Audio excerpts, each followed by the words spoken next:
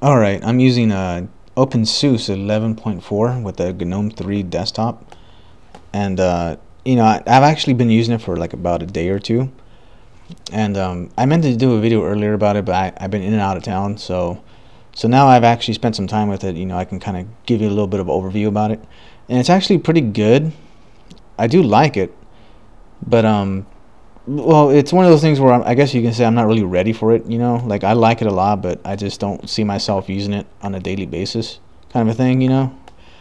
But uh, other than that, you know, it's pretty clean. It's real simple. I, I one thing I can say about it, it's very fast. You know, it's real snappy. Um, but um, if you're not a if you're just a, a standard you know Ubuntu user and you're switching to OpenSUSE, there's some things I gotta like show you first. So let's uh, well to launch an app you know, it's similar to Unity. Hit the window key or, or the super key and type something. So I'm going to type, uh, I think, install.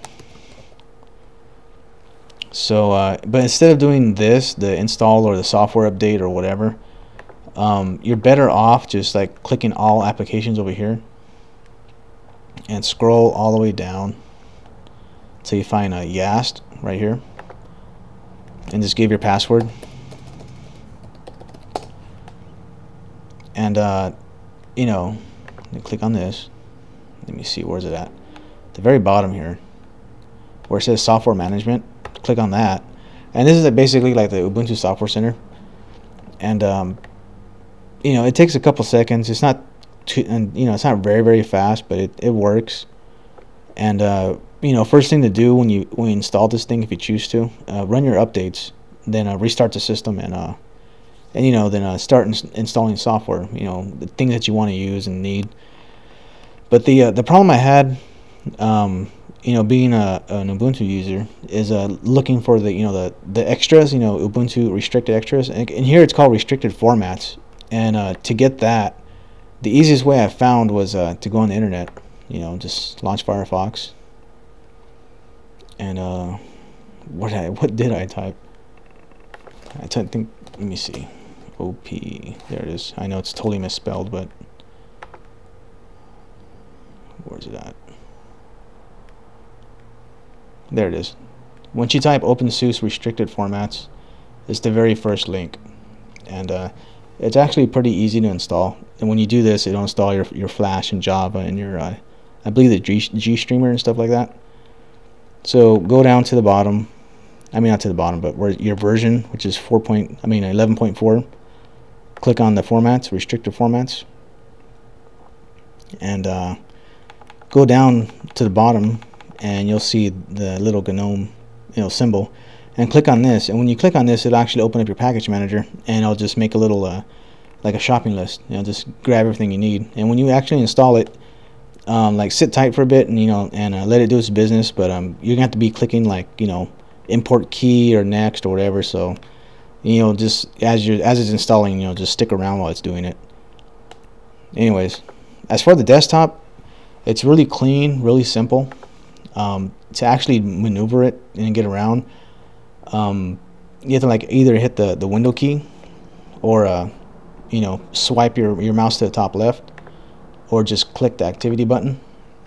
And uh, let me get the uh, home folder here. Let me click on this. And um, there is no minimize. So you can't just you know minimize anything. And there's no close there's a close button but there's no minimize button or maximize button.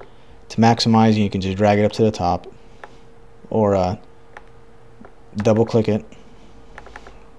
And there's also the snapping feature as well to you know snap to the left or to the right. Like so. Do that again. There we go. And uh, so to minimize a program there's a few ways to do it. You can hold control alt and press down. And it's not really minimizing it's what it's doing it's creating a new desktop. So let me go back to my activities and to the far right you'll see uh, my desktops. You know right now this is my recorder I'm using FF, FFmpeg to record. And this is the uh, the minimized or the new desktop I created or moved away. And this is the one I created so so let's try to open up two uh, applications. So I want two home folders. So how do I do that so swipe again, go to your home folder here or your file browser, right click and select new new window. and now you have two of them.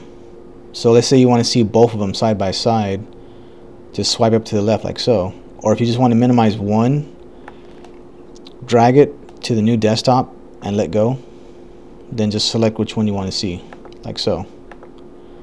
Alright now now if you want to you know put them back together just drag them you know drag it back up to the you know to the second browser or the file browser.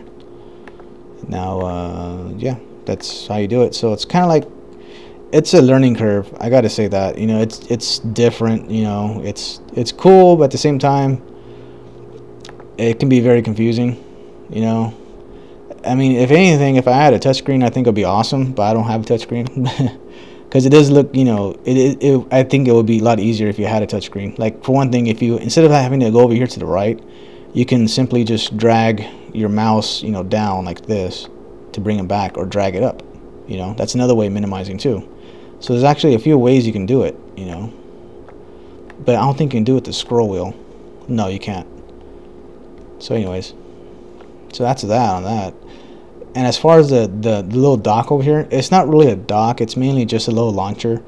Like in Unity the, the dock has a lot of function to this So this is basically like to pin apps to it. So if I want to like pin an app let me uh, find something. So let me type something like uh, like web. Alright I can just drag it in here and uh, let go. And it pins it. And notice in the bottom see that's your notification. Like on the other standard desktop the, the, the 2 series GNOME 2 all your notifications are on the top right and that's not there anymore. So every time you get a notification it's at the bottom right? Or like in the Ubuntu uh, desktop it has like the little uh, what do you call it? The uh, uh was it a uh, ODS or something notify? I can't remember what's the pronunciation on that but it, doesn't it's not existing here. It, it's all at the bottom. So when something like a new email or new IM it'll pop up and say hey you know something's new. And as far as like the, the top panel you can't really do much to it. It's all locked down. Um, as far as theming it I, I, can't figure out how to theme it but I know you can theme the uh, the file browser. You can change different themes if you like. Um, and you can't move anything you know, I haven't figured out if we can, but everything just, you know, it, it is what it is. Um, let me think. Uh, what else can I show you? I think if you type something like uh, Google, oops, like that, you can actually search like the web for it, like Wikipedia. And it should open up Firefox. So that's pretty cool. I, I like that. You know, that's a cool little feature. I kind of wish Unity had that one. Well, it does, but I think it's not as not as uh, easy as that. So that's pretty cool. What else can I say? Well, this is mainly just like a little introduction kind of thing. I'm still using it. I'll probably make some more videos about it. You know, I'm still learning it. You know, it's it's a big difference. Okay, it's huge difference. But uh, oh, so far like I'm I like it, but I just don't see myself using it full time just yet. You know what I mean? Um, a lot of it has to do with the notifications thing, kind of thing. You know, a lot of the applications don't work yet because of the notification icon that, that's supposed to be up here on the old 2 series it's not there anymore. Like I couldn't use my you know GTK record my desktop for this little overview because of that little icon not being there so I had to use uh, this right here the FFmpeg with the terminal. But anyway so far it's it's it's different. It's a lot different and um, I don't know. I don't know what to say about it really. You know oh yeah and there's no desktop either. What can I say? Uh, like if you try to drag and drop a folder onto the desktop you know it doesn't it doesn't go. So there's no desktop icons or anything you know none of that stuff. You know what I mean? So other than that you know it doesn't use compiz it uses what's it called? Mutter or utter so whatever it's using it's pretty cool. I mean it's quick. You know I like that. So uh, anyways that's it for now. I'll probably go over some more stuff about you know installing packages and repositories. Cause that's kind of this that's some of the stuff I had to learn myself. So I, I at least want to you know share that with you guys. So so anyways, if I had to recommend this, uh, the GNOME 3, I do recommend doing the OpenSUSE one because I tried the uh, GNOME 3 with the uh, the Ubuntu uh, Unity with the PPA, and it was crashing like crazy. So I rather it's you're better off just you know downloading the the OpenSUSE version of it and just doing a fresh start you know it actually works a lot better. So anyways that's it for now. So uh, I'll see you in a, in a day or so